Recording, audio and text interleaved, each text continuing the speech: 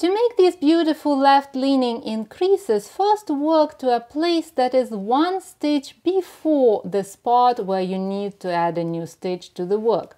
For example, if I want to add a new stitch over here, I would stop right now when I'm one stitch before that place. Bring the yarn to the back of the work and then insert the tip of the right needle from left to right into the first stitch on the left needle like this.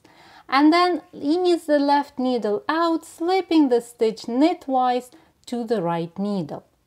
Then we're gonna do something very interesting. We're gonna insert the tip of the left needle into the space between the first two stitches from the tip of the right needle. We go front to back like this right between the stitches.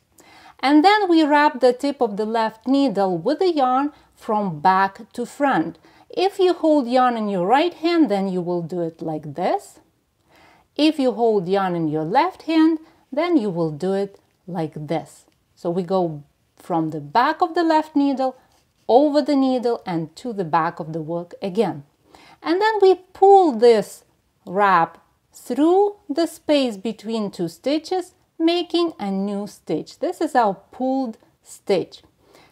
Now we're gonna knit the slip stitch through the back loop and we're gonna do it in the most efficient way possible. Here's how. We insert the tip of the left needle from left to right into that stitch and we do it in such a way that left needle is at the front of the right needle, like this. See? And then we wrap the tip of the right needle with the working yarn. If you hold yarn in your right hand, you will do it like this. If you hold yarn in your left hand, you will do it like this. And pull this wrap through the stitch, knitting it through the back loop. And then slip the stitch off the left needle as we usually do when we knit a stitch. And then we uh, slip the pulled stitch, the new stitch that we've just added to the work, purlwise from the left needle to the right needle, like this. And continue to work in the main pattern of your project until you get to the very end of the row or the round.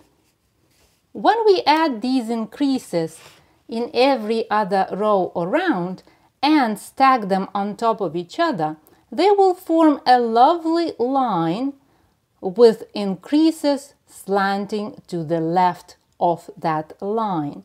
And to make the line consistent, purl the newly added stitches in the next row or knit them in the next round if you add these increases to a seamless project. When we pair these increases with the right slanting pulled increases discussed at 10rowsaday.com slash pulled dash increase, will get a beautiful texture that will work great for shaping raglan lines of top-down sweaters, crowns of top-down hats, or different varieties of shawls. If you find this tutorial helpful, please subscribe to my channel and click the bell icon to be notified every time I publish a new video. Happy knitting, my friend. I'll talk to you in the next tutorial.